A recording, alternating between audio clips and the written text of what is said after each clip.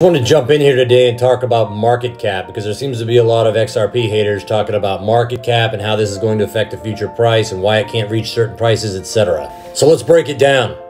Market cap is a simple calculation. It's important to remember that market cap is calculated by multiplying the current price of a cryptocurrency by its circulating supply.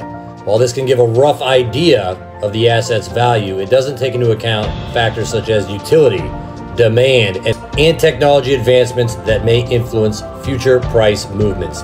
Now, specifically, what has been the conversation around XRP and Ripple? Utility, demand, etc. We all know that XRP's value is closely tied to its utility and adoption in the financial industry.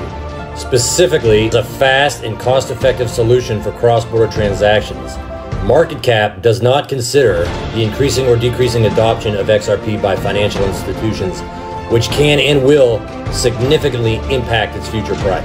Nor does it consider the potential from its or innovations that may enhance XRP's utility and value proposition, leading to increased demand and then price appreciation. Now, market sentiment also plays a huge factor here. Future XRP price will be influenced by various factors such as regulatory developments, i.e., the case settling or being over soon, partnerships, which you know Ripple has a shit ton any overall market sentiment, which will change when this is over.